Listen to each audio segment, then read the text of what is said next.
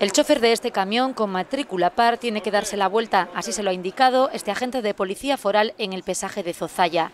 Desde aquí, la misión de los agentes será informar hoy sobre las limitaciones al tráfico en las carreteras de la zona por las obras de los túneles de Velate y Almandoz. Los números que acaban impar como este vehículo pueden pasar, la semana siguiente solo pueden pasar los pares. No, no sabía nada.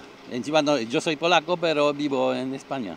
Entonces voy a leer esto y vengo de Alemania. Voy a descargar, aquí tengo dos repartos, uno lo de, la primera descarga en Irún. Esta semana la limitación de circular en las nacionales 121 A y B y en el puerto de Velate entre 6 de la mañana y 10 de la noche afecta a vehículos pesados con matrículas pares. Estamos un poquitín informados porque ya han mandado las asociaciones información pero bueno, tampoco está muy clara. Esta está más clara que las que nos han mandado a nosotros. La restricción afecta solo a camiones en tránsito, por lo que aquellos que tienen que descargar en la zona no tienen prohibido el paso, pese a tener matrícula par. Es lo que le ocurre a este camionero sevillano. Vamos para Sevilla, pero como hemos cargado en la zona, podemos pasar sin problema. No sabemos si por dirigirse a localidades cercanas o simplemente por desconocimiento, pero esta mañana hemos comprobado cómo varios camiones con matrícula par circulaban en el puerto de Velate.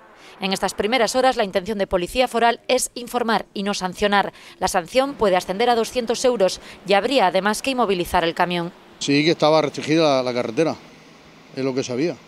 Restringida para la matrícula, es lo, único que me habían dicho, nada más. O sea, usted sabe que la semana que viene no podría no, exactamente. Pero de todas maneras, no, no, yo procuro evitarla.